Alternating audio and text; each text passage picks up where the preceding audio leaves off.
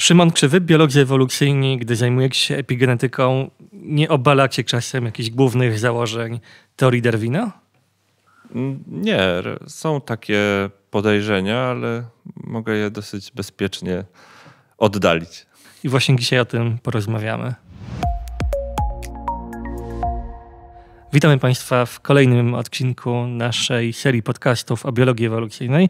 Ja nazywam się Łukasz Kwiatek, jest ze mną również Szymon Drobniak, profesor Uniwersytetu Jagiellońskiego i Uniwersytetu Nowej Południowej Walii w Sydney, biolog ewolucyjny, epigenetyka, bo mówiliśmy we wcześniejszych odcinkach o kilku takich wiodących trendach e, badań w obrębie biologii ewolucyjnej, było o mikrobiomie, było w ogóle o trendach ewolucyjnych, było również o E, osobowościach u zwierząt. Epigenetyka wydaje się takim kolejnym wielkim tematem, e, który teraz wszyscy chcą badać, może wyjaśni i pojawiają się również bardzo spektakularne wyniki, może wyjaśni, o co właściwie z tą epigenetyką chodzi. No, w dużym skrócie chodzi o yy, informację genetyczną, która nie jest zapisana bezpośrednio w genach, czyli w sekwencji E, DNA, tylko za pomocą innych e, środków. Najczęściej są to różnego rodzaju chemiczne modyfikacje materiału genetycznego. No i jakby trochę to przypomina też e, temat mikrobiomu, bo tak naprawdę ten boom na zainteresowanie epigenetyką wynika w głównej mierze z tego, że pojawiły się metody, które pozwalają nam ją badać na takim poziomie, na jakim chcieliśmy zawsze, a wcześniej to nie było za bardzo możliwe. E, natomiast e, faktem jest, że e, wciąż bardzo niewiele wiemy na temat tego, mm, co informacja genetyczna może zrobić, jak ona się mieści gdzieś w tych modelach genetyki, genetyki populacyjnej, które stoją powiedzmy u podstaw teorii ewolucji, no i też na przykład jak daleko sięga informacja epigenetyczna, bo jest ona znacznie bardziej labilna niż informacja genetyczna, więc pytanie polega na tym, y, czy faktycznie jest ona rodzajem trwałego dziedziczenia, czy gdzieś tam w pewnym momencie się rozmywa.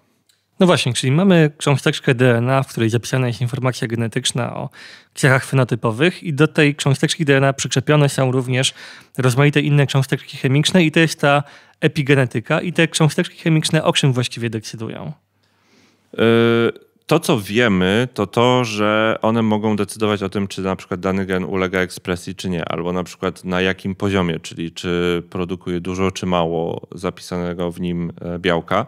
Te modyfikacje też mogą wpływać na to, e, czy konkretne regiony, na przykład DNA, ulegają mniejszej albo większej e, kondensacji, co też zmienia jakby dostęp całej maszynerii genetycznej do nich, czyli sprawia, że one mniej lub bardziej e, chętnie są wykorzystywane do tego, żeby produkować określone białka. Więc informacja e, epigenetyczna jest na, w pewien sposób nieco mniej wyrafinowana, bo jednak ona nie tyle zapisuje e, instrukcje, jak skonstruować białko, co bardziej zapisuje informacje o tym, jak to białko wyprodukować, czy je wyprodukować, w jakiej ilości, jest to nieco, można by powiedzieć, mniej rozdzielczy rodzaj informacji, ale też mogący mieć dosyć duży wpływ na, na, cechy, na cechy organizmu. Czyli są to jakby pewnego rodzaju metadane, e, napisa- nadpisane na danych, którymi jest informacja genetyczna. A powiedz, czy e, to jest tak, że te same modyfikacje epigenomu odpowiadają za to, że komórki mają różną specjalizację. Czy to również właśnie tego typu dodatki do DNA, chemiczne dodatki do cząsteczek DNA, decydują o tym, że nie wiem, jedna komórka staje się neuronem, mimo że ma tę samą informację genetyczną, a inna staje się komórką, e, nie wiem, jakichś gruczołów wydzielniczych, wątroby na przykład.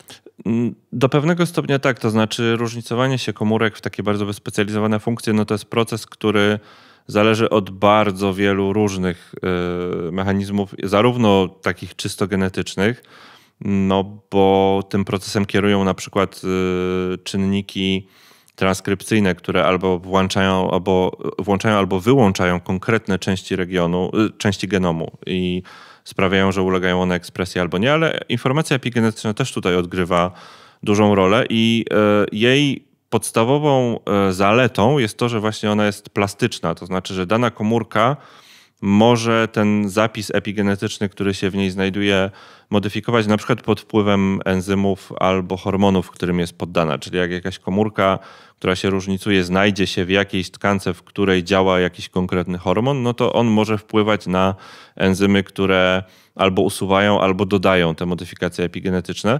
Aczkolwiek y, pamiętajmy o tym, że ten proces różnicowania się komórek to też jest coś, co nie do końca jeszcze rozumiemy, no bo gdybyśmy rozumieli, to byśmy potrafili tak po prostu stuprocentowo pewnie zmusić każdą komórkę macierzystą, żeby stała się tym, czym chcemy.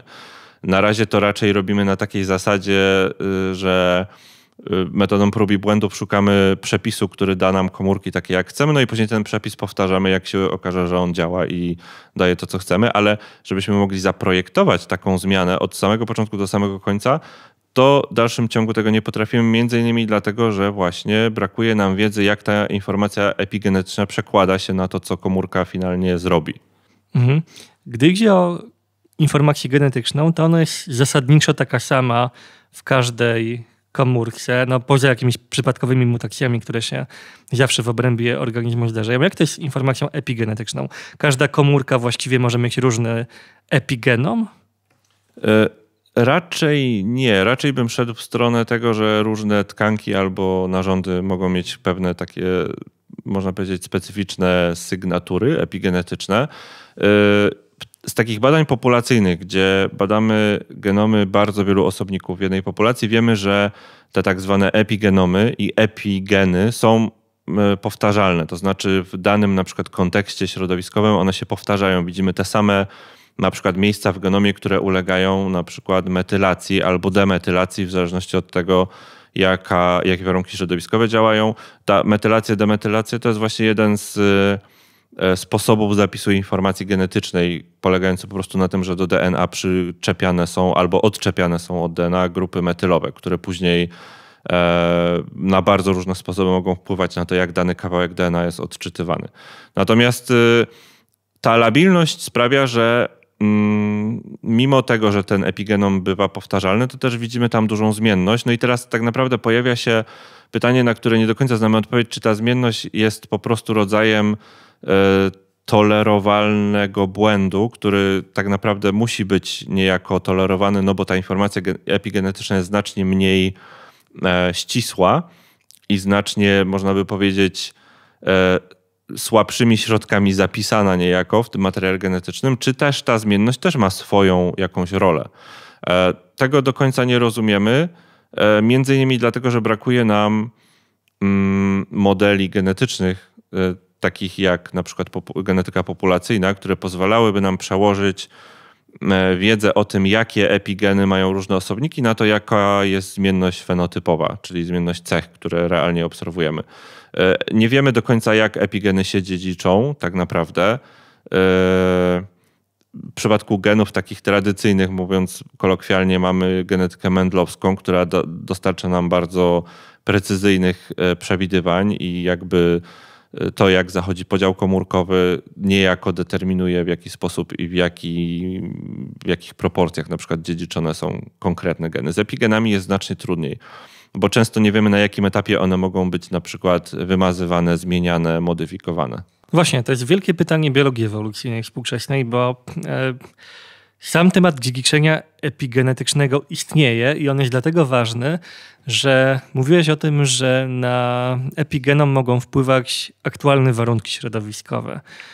I jeżeli aktualne warunki środowiskowe wpływają na epigenom, a kolejne pokolenie otrzyma zmienioną informację genetyczną, zmienioną informację epigenetyczną, to mamy jakiś rodzaj dziedziczenia cech nabytych albo coś, co można porównać do tego dziedziczenia cech nabytych, czyli coś, co kojarzy nam się nie z Darwinem, ale z Lamarkiem i coś, co być może wywraca nieco nasze rozumienie biologii ewolucyjnej. Wytłumacz się, czy rozwiń tę myśl, że, tak, że możesz obronić e, teorię Darwina przed zakusami epigenetyki. To znaczy, zacznijmy od tego, że faktycznie y, środowisko może do pewnego stopnia modyfikować informację genetyczną i znowu nie zawsze wiemy, jak to się odbywa, y, natomiast y, faktycznie mamy dowody na to, że mm, na przykład restrykcja kaloryczna, nawet globalne ocieplenie w naturalnych populacjach faktycznie doprowadza do istotnych, wykrywalnych zmian w tych wzorcach epigenetycznych. Nie wiemy wciąż, jaki jest później mechanizm dzięki któremu te zmienione wzorce wpływają na cechy kolejnego pokolenia, albo często nie wiemy, bo e, jakby no, wchodzi w grę tutaj tak naprawdę, naprawdę zidentyfikowanie elementów tej maszynerii komórkowej, które będą odczytywały ten epigenom, a nie zawsze je znamy. Wiemy na przykład, że e, zmiany e, takie jak na przykład drastyczna restrykcja kaloryczna mogą w kilku kolejnych pokoleniach powodować negatywne skutki zdrowotne, takie jak E, jak większy, większe prawdopodobieństwo pojawienia się różnego rodzaju chorób metabolicznych, takich jak otyłość, cukrzyca, e, choroby spichrzeniowe, ale y, tak jak mówię, nie znamy tego mechanizmu. Natomiast pytanie y, o to, czy w ogóle istnienie takiego czegoś, czyli dziedziczenia cech nabytych e, w jakiś sposób podważa teorię ewolucji Darwina, wydaje mi się, że Owszem, epigenetyka obecnie jest chyba najlepszym kandydatem do tego, żeby w jakiś istotny sposób rozszerzyć nasze rozumienie e, tej darwinowskiej teorii ewolucji. Natomiast musimy pamiętać o tym, że informacja epigenetyczna i to, co się z nią dzieje, e, u swoich takich najbardziej fundamentalnych podstaw i tak jest determinowana przez geny. To znaczy maszyneria, która obsługuje informację epigenetyczną, E, skąd się bierze i ona jest kodowana w genach. No i tu się pojawia tak naprawdę ciekawe, e, ciekawy problem, czy czasem informacja epigenetyczna nie powstała ewolucyjnie właśnie po to, żeby takiej sztywnej e, ewolucji darwinowskiej dać pewną elastyczność w reagowaniu na warunki środowiskowe, czyli innymi słowy mówiąc, sama z siebie jest cechą, która była po prostu promowana przez dobór, bo w określonych warunkach E, dawała organizmowi nieco więcej elastyczności w tym, jak on ma zareagować na warunki środowiskowe.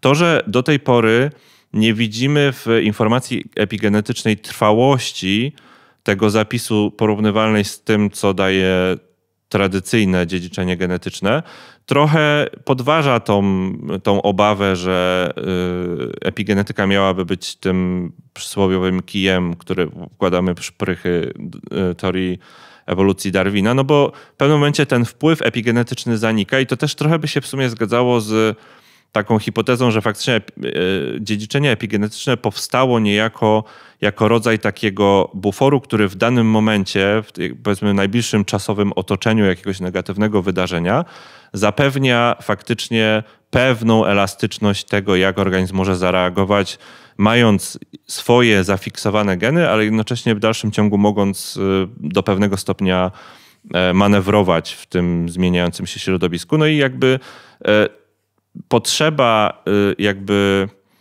y, priorytetyzowania tego zapisu genetycznego zgadzałaby się z tym, że ta informacja epigenetyczna w pewnym momencie zanika, bo faktycznie to jest coś, co obserwujemy, że po kilku e, pokoleniach tak naprawdę ten ślad który wstecz gdzieś tam w którejś generacji się pojawił, zanika, już jest nieobserwowalny i musiałby zostać powtórzony, żeby w ogóle znowu dany wpływ był obserwowany.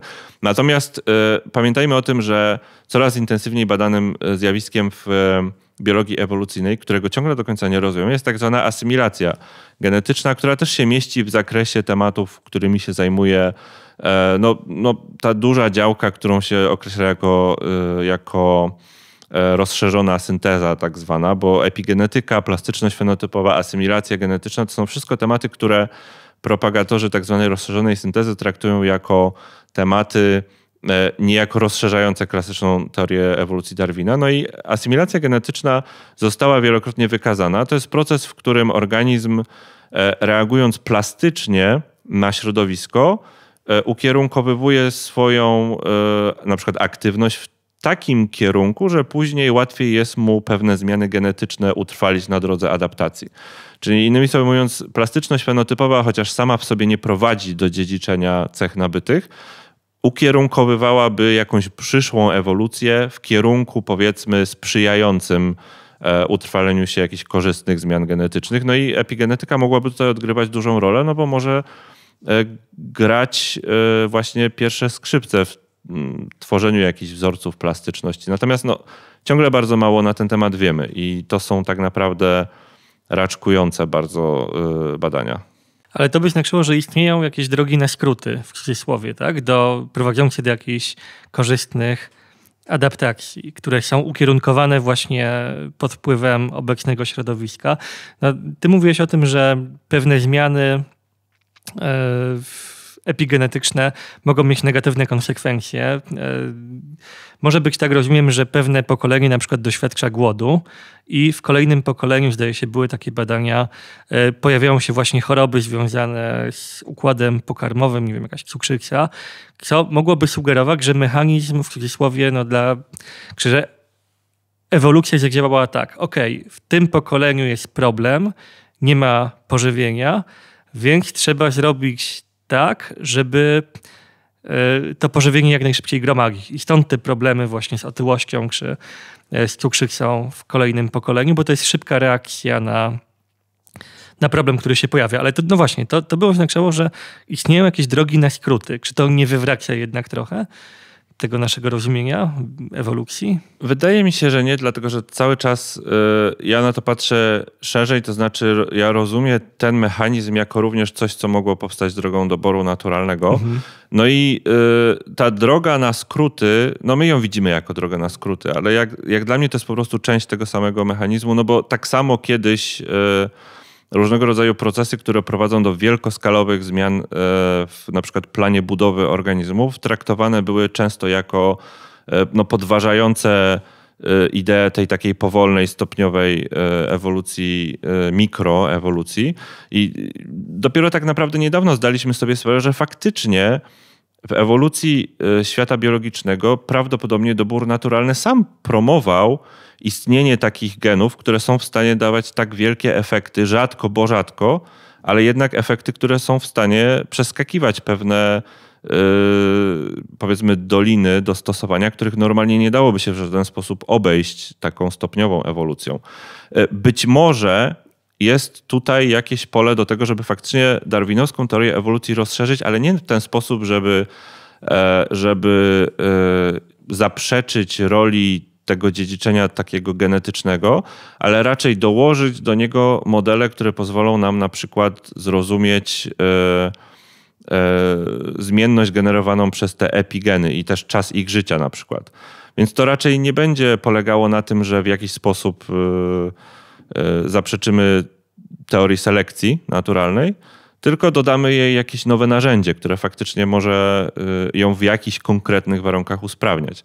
To jest bardzo ciekawy temat, no bo de facto dochodzimy do myślenia o jakby podstawowych, mówiąc w cudzysłowie, narzędziach ewolucji, jako o cechach, które same w sobie podlegają ewolucji.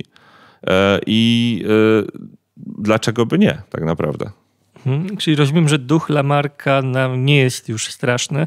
Został wyegzorcyzmowany z nauki i e, raczej nie spodziewamy się jego powrotu. Raczej bym powiedział tak, że y, w tym, w tym rozumieniu duch Lamarka to jest taka kukiełka, którą Darwin trzyma sobie na palcu i nią porusza. Okej, okay, a powiedz mi jeszcze takie pojęcie ewoluowalność, czasem się pojawia w biologii ewolucyjnej. Na ile ono ma związek, jak w ogóle wy je rozumiecie i czy ono ma związek e, no, z tego typu rozszerzaniem e, biologii ewolucyjnej, o którym mówiłeś?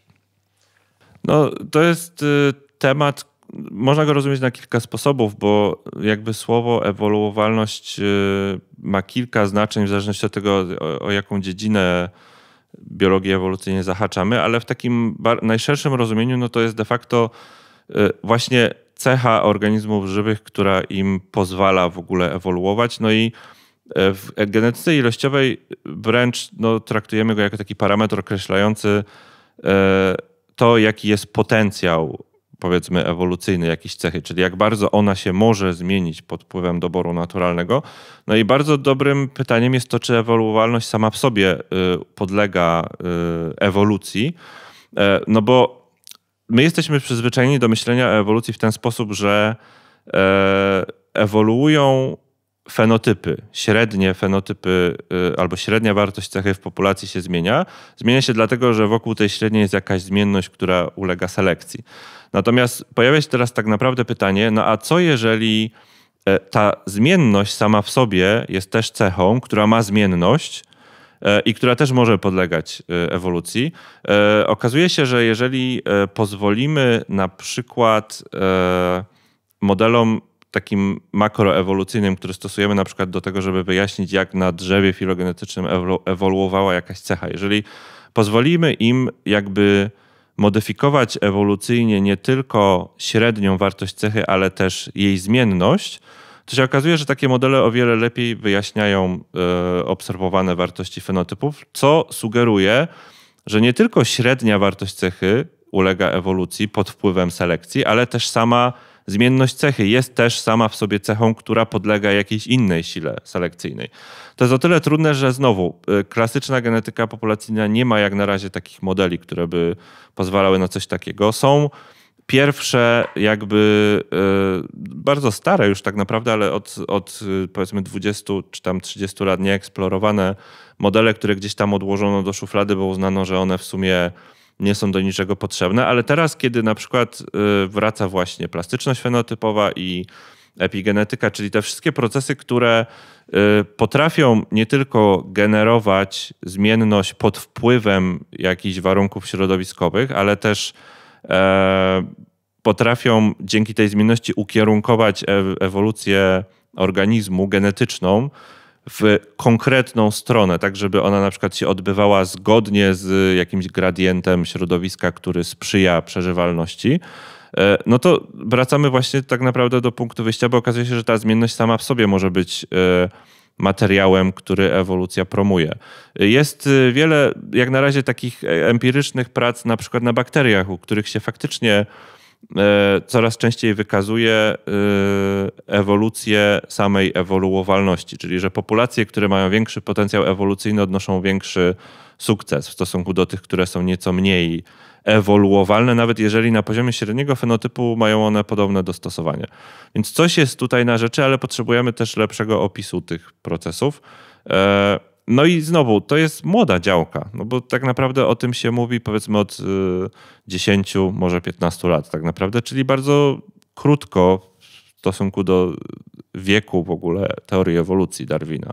Czy to wszystko nie wywraca nam tej wizji ewolucji z punktu widzenia genu?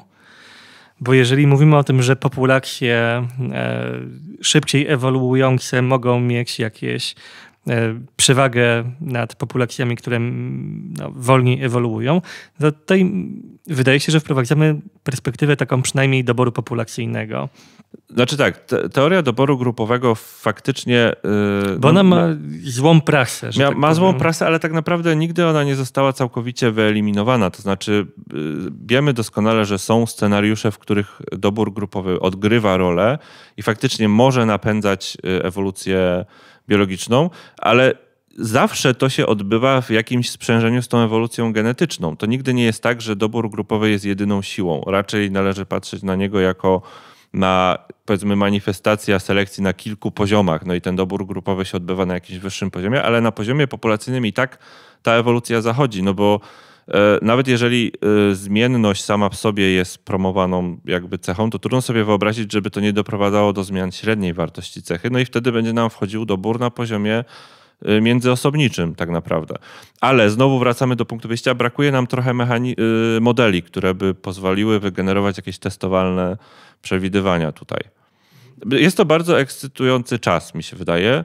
E, największym problemem tych modeli i tego, co się dzieje w tej dziedzinie, jest to, że one są niestety e, no, o rząd wielkości trudniejsze niż takie modele genetyki populacyjnej, które de facto dla osoby z powiedzmy wykształceniem matematycznym na poziomie szkoły podstawowej nie stanowią żadnego problemu. Modele E, których wchodzi do, dochodzi do głosu na przykład dobór działający na wariancję, czyli właśnie no, tą ewoluowalność, już są znacznie bardziej skomplikowane. No i przez to hermetyczne. Gdy idzie o dobór działający na poziomie populacji czy grupy, ja rozumiem, że on nie jest lubiany pewnie przez część biologów, dlatego że on jest łatwy do pomylenia z doborem gatunkowym. No właśnie tak, z tym dobrem gatunku, które z kolei zakłada, że gatunki w sumie powstają po to, żeby bronić jakichś swoich interesów. co jest sprzeczne z tym, co wiemy, no bo oczywiście my chcielibyśmy myśleć o tym, że w naszym współczesnym świecie bioróżnorodność to jest taki zasób, którego już nigdy nie stracimy, ale prawda jest taka, że y, gatunki y, powstają, znikają i nie jesteśmy w stanie z tym absolutnie nic zrobić, bo jest to całkowicie naturalny proces. My go przyspieszyliśmy, owszem, zmianami środowiska, które sami spowodowaliśmy, ale w żaden sposób nie sprawia to, że wymieranie na przykład gatunków jest w jakiś sposób złe albo nienaturalne. No i tutaj gdzieś się pojawia ten właśnie taki konflikt i on wynika chyba, trochę wchodzimy chyba już nawet na jakieś takie filozoficzne rozważania z, z, tego, że no my operujemy w trochę innych skalach też czasowych. Trudno jest nam sobie takie procesy wyobrazić yy, jakby intuicyjnie je rozumieć bez jakiegoś tam wysiłku umysłowego. Dlatego łatwiej jest nam przyjąć, że, no, że te lemingi faktycznie rzucają się z tego klifu do morza, żeby swój gatunek uratować, żeby było ich faktycznie mniej, żeby nie zjeść wszystkiego, co mają do zjedzenia. Jaki jest największy sukces jak dotąd epigenetyki? E, wydaje mi się, że y, największe sukcesy ona święci z bardziej medycznego punktu widzenia, bo pojawiają się terapie, które celują konkretnie w procesy epigenetyczne, żeby faktycznie y, leczyć choroby metaboliczne. Z mojego punktu widzenia, biologa takiego zajmującego się podstawową, że tak powiem, ewolucją biologiczną, bez kontekstu aplikacyjnego, największym sukcesem jest pokazanie, jak drastyczne zmiany na poziomie epigenetycznym zachodzą pod wpływem zmian klimatu. Jest kilka takich dużych populacji w Europie różnych gatunków zwierząt, gdzie prowadzi się bardzo Mm, na bardzo szeroką skalę zakrojone właśnie analizy epigenetyczne, które pokazują e, drastyczne zmiany, które zaszły w ciągu ostatnich lat, e, które, no, których się nie da inaczej wyjaśnić niż tylko wpływem zmian klimatycznych. Najgorsze jest to, że nie wiemy, do czego one doprowadzą. Czyli czy na poziomie epigenetycznym istnieje coś takiego, jakiś taki odpowiednik, E, który w przypadku normalnych genów określamy jako zmienność genetyczną, gdzie jak ona się wyczerpie, to nagle populacja traci zdolność do ewoluowania i reagowania na zmiany środowiska, bo jakby traci to paliwo, które jest potrzebne do ewolucji. Nie wiemy ciągle, czy na poziomie epigenetycznym istnieje analog tego i gdzie jest ta granica tej zmienności epigenetycznej, która E, musi być, żeby populacja dalej jakby zdrowo, że tak powiem, reagowała na zmiany środowiska. Chciałbym jeszcze wrócić na koniec do tego, co mówiłeś na początku e, tego odcinka. Mówiłeś o tym, że epigen rozwój epigenetyki umożliwiony został przez rozwój metod badawczych. E, zwykle tak się zresztą dzieje w nauce przecież. E, jakie to są metody? Czy to są zupełnie inne metody e, wykorzystywane przez epigenetykę od tych, którymi bada się, e, no, prowadzi się badania genetyczne? Czy to jest ten sam sposób funkcjonowania, tylko wzbogacony o coś no, innego? Odpowiedź w sumie jest trochę pewnie rozczarowująca, bo to są dokładnie te same metody, tylko że nieco zmodyfikowane. To znaczy, tam się wprowadza na określonych etapach modyfikacje chemiczne, które na przykład pozwalają nam odróżnić te litery DNA, które zostały zmetylowane, czyli gdzie przyczepiono te dodatkowe y, kawałki informacji od tych, które nie zostały zmetylowane, ale jakby sama logika takich analiz i później przetwarzanie tych danych, które się dostało, jest bardzo podobne, więc y, no, rewolucja sekwencjonowania nowej generacji de facto właśnie otwarła biologię ewolucyjną na te wszystkie dziedziny typu mikrobiom, epigenetyka, e, dokładnie w ten sam sposób i za pomocą tych samych podejść metodycznych. Mhm. Jak myślisz i gdzie dzięki badaniom e, między innymi epigenetycznym będzie biologia ewolucyjna za, nie wiem, 10-20 lat? No, Spodziewasz się, że odkryjemy coś zupełnie wstrząsającego? Bardziej y, chyba wszyscy biolodzy ewolucyjni oczekują, że wreszcie ktoś weźmie się za opis taki bardziej matematyczny tego, e, żeby faktycznie troszkę zunifikować to dziedziczenie genetyczne i epigenetyczne w jakąś jedną e, strukturę, która lepiej nam pozwoli e, przewidywać trajektorię ewolucji populacji. To jest chyba coś, na co najbardziej czekam. No i tak naprawdę y, bardzo ciekawe jest to, czy to, co obecnie wiemy, te mechanizmy epigenetyczne, które znamy, czy to jest wszystko, co może y, prowadzić do dziedziczenia takich cech nabytych. Bo być może są mechanizmy, których nie znamy w dalszym ciągu, a które również odgrywają e, tutaj rolę, być może nawet zupełnie niezwiązane z e, DNA i z tym, co my teraz rozumiemy pod pojęciem epigenetyki, bo pamiętajmy o tym, że informacja epigenetyczna nie musi być wcale zapisana w DNA przez jego modyfikację, bo mogą być nią jakieś substancje, które jedno pokolenie przekazuje drugiemu w zupełnie inny sposób, na przykład y, y, deponując jakieś hormony czy innego rodzaju związki w e, embrionach e, nowego pokolenia. Także no, jest to dość ekscytująca dziedzina biologii ewolucyjnej. Poczekamy zatem na kolejne wyniki te kilkanaście lat i porozmawiamy wtedy. Dokładnie. Tymczasem za dzisiaj dziękuję. Dzięki.